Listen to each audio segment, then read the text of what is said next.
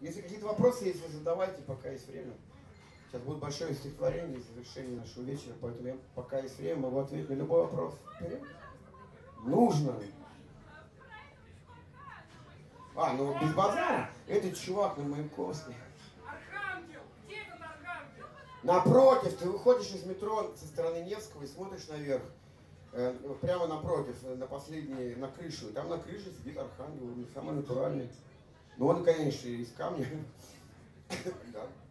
Это географически точно, уверяю. Посмотрите внимательно, я тебе говорю. Ну, это статуя, да. Ну, с другой стороны, еще есть ЛСД.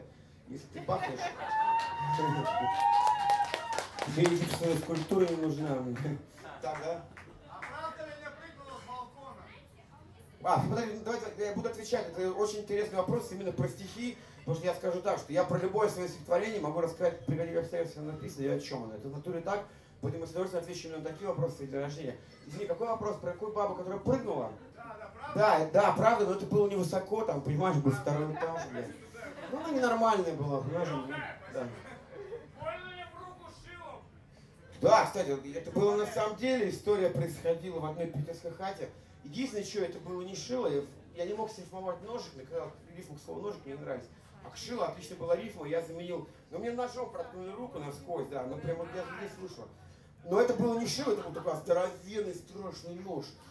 И ну, когда меня его проткнул, я говорю, сука, блядь, ты что ты сделал? Он говорит, ты же сам просил. Я говорю, ну тогда я просил, это же был другой человек.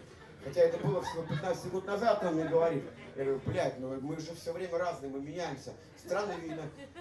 Сознание человека, не меняющего своих убеждений, становится подобным болотным, болотной тине. Лучшим убежищем для гада, говорил один эзотерик. По-моему, был абсолютно прав вообще. Мы должны менять наше мнение, мы должны меняться. Нельзя быть каким-то упертым, там, моралистом, еще кем-то. Это просто глупо выглядит чаще всего. Да? Кто-то хотел... Да. Поздравляю. Я за тебя сейчас выпью, давай. Хоть я и не пью. Извини, что, что, вторая часть вопроса. Сейчас? Бля, ну давай попозже. Я сейчас дочитаю, а потом ты можешь... Мы здесь тусуемся еще после выступления. Ты спокойно, громко прочитаешь. Договорились? Я тебя разогреваю, грубо говоря, сегодня. кого там 46? Че-че? Кого там 46 лет? Бля, охуенно. Если бы долбоебы всякие мозги не ебали, было бы вообще круто. А так все заебись. Мне нравится. Отвечу и потом читаю. Спрашивайте, не стесняйтесь. Э, Эротические вопросы, вопросы о коммунальной службе, что-нибудь о ментах. Э, Да-да. Нахуй нам это поэзия, да? И, может быть, про рифмы ямбы, нет? Ну, это я серийно, конечно, изображаю. Ну что, давайте последний вопрос, и я буду читать свой, свой большой эклогом. Когда новый альбом? Я надеюсь... Слушайте, мы, если честно, к, к альбому что-то не очень, не хочется нам альбом пока писать. Мы выпускаем синглы. Вот мы выпустим скоро новый сингл э, про Якина, как это ни странно. Серьезно говорю, да, такая совершенно попсовая песня. Продолжим наше вот это приключение в мрачной поп и поп поп поп индастриал, не побоюсь этого слова, начатые на песне «Последние слова», «Такси». Вот я, будет такая третья часть, вот эта песня про Орликина. Будет она называться «Смотри на Орликина». Сообщаю название впервые. Если вы понимаете, небольшая отсылка к творчеству нашего любимого писателя Владимира Набокова. Ну и так далее. Я много, может быть, об этой песне. Но я поговорю о ней, когда она выйдет. Сейчас еще слишком рано. Все, да? Я все ответил? Нужно. Ну, типа, Максим Тесли очень восхищается тобой как поэтом. Ты восхищаешься? Восхищаешься Максимом Тесли как поэтом? Э, нет, ну восхищаюсь, я не знаю, Максим Тесли, я тебе еще раз скажу, самый главный плюс Максима Тесли, он технически охуенно все делает.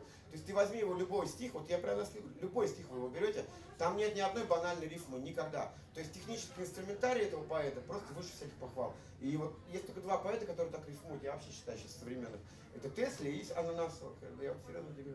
Она тоже отлично рифмует, хоть, хоть она не так, не так известна. Серафима Ананасова, да, почитай. Да. Мгм. Наш Цветаева. Так, ну что, все, завершили? Ну, давай, все, последний, это точно последний, да. А какие вообще поэты современные вам?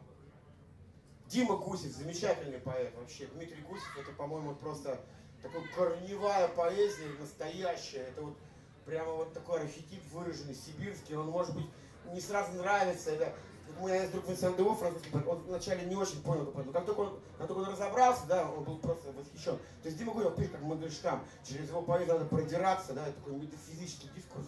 тяжелый, с таким оснащен этим сибирским рудиментным ар- инструментарием, но, ты- но ты все время открываешь что-то, когда его читаешь. А в поэзии это самое главное. Когда ты вместе с автором открываешь что-то для себя, и если это еще и новое, то как бы, ну, чего еще желать поэзии? Потому что поэзия это просто всего... Поэзия всего лишь, на- всего лишь навсего удовольствие, да?